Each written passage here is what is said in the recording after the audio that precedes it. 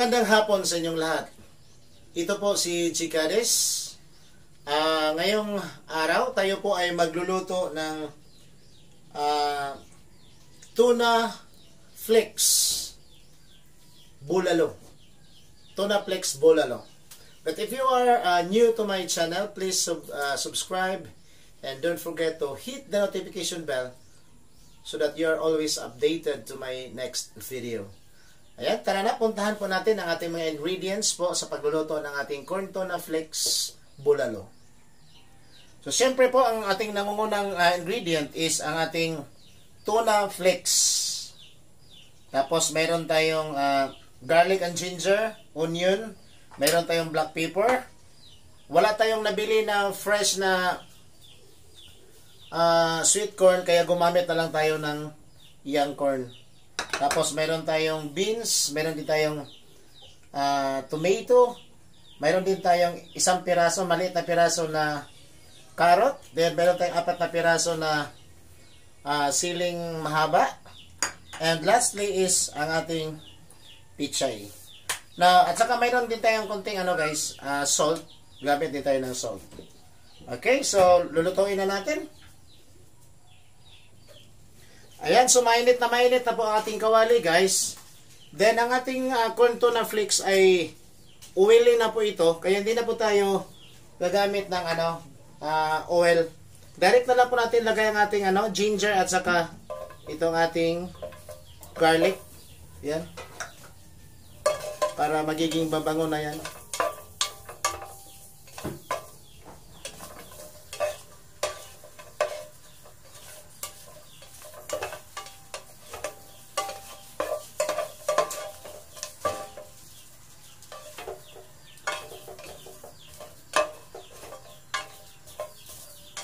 Pabanguhin na lang natin ang ating ano guys ha, ang ating ginger.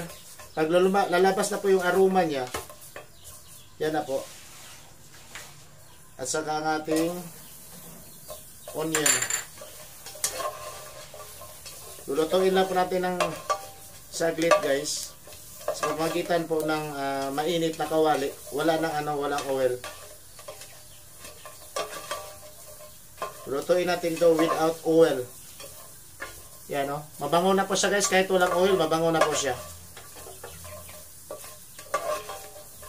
Huwag po natin hayaang masunog guys ha.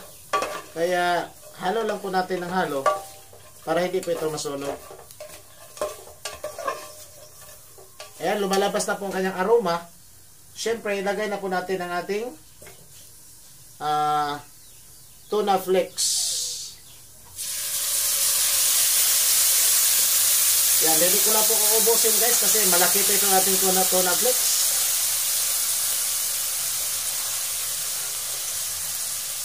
Yan, bango na bangong bango guys. Sobra. Lulutuin po natin ito ng mga around 2 minutes.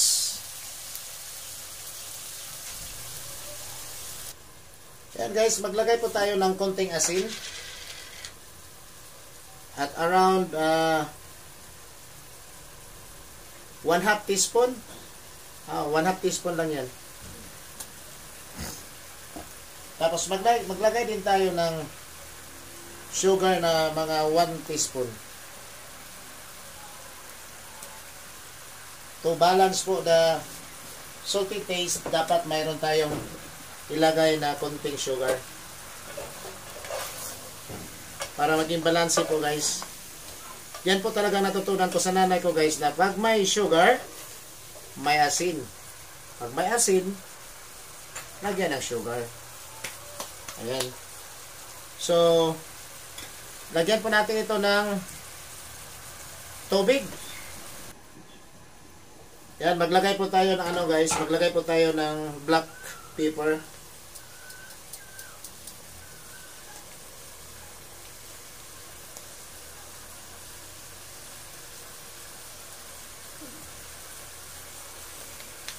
Kunting black pepper lang po guys. Tapos ilagay natin ang ating taro guys. Kaya naglagay po tayo ng taro para magiging uh, a little stickier ang ang kanyang uh, sabaw mamaya. Ang soup. Yan, tapos, lagyan natin ng tubig.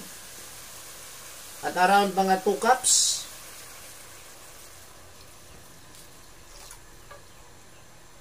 Ayan, dagdagan natin kasi mas masabaw, mas masarap. Ayan.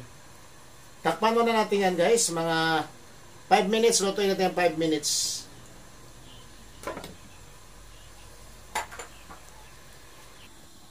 After 5 minutes, buksan na po natin. Ilagay na po natin ang ating sitaw o ang ating beans. Limang piraso lang po yan guys. Binili natin kanina. At saka idagdag natin ang ating uh, siling mahaba na apat na piraso. At saka ang ating uh, tomato. Yan. At saka ang ating carrot na rin. Lulutuin natin guys ng another uh, lulutuin pa natin ito sa loob ng mga around 5 minutes din. O mga 4 minutes to 5 minutes. Tapos takpan natin.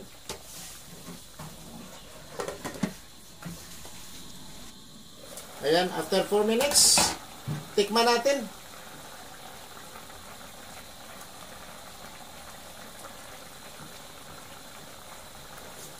Hmm, kulang pa ng ano, kulang pa ng konting asin. Itong salt guys, depende sa inyo guys, no? Salt to taste po 'yan. Depende sa inyo kung gaano karami yung kakayahan ninyo sa asin. Yan, so ilagay na natin guys ang ating uh, young corn. Tapos, ang ating pichay. Yan. Sa gilid lang po yan. Mamaya na yung dahon guys. Dagdagan natin ng katunting tubig. Parang ano siya. Kulang ng tubig. Ayan guys, amoy na amoy na po. Naamoy ko na po ang sarap talaga guys. Sobra. Oh. Ayan. So, ilagay na po natin ang ating pitsay na dahon dito sa gilid. So itaas na po natin ilagay.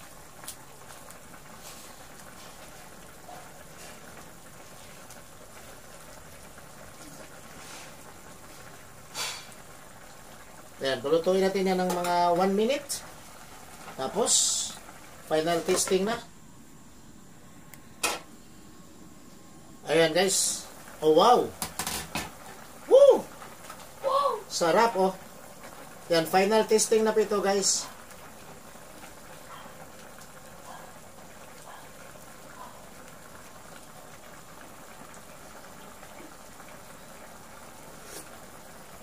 Ayan, bulalong bulalo talaga guys. Napakasarap po talaga. Champion. Yan.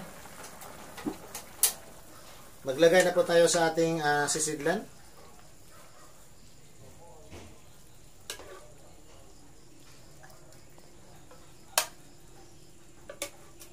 Ayan guys, oh. Nandyan po ang taro guys. Super sarap yan guys.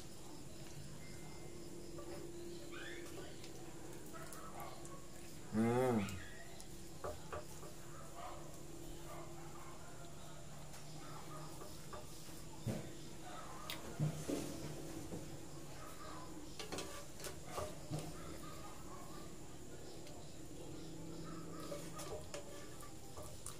Napakasarap. Amoy na amoy ko guys, ang sarap guys, sobra.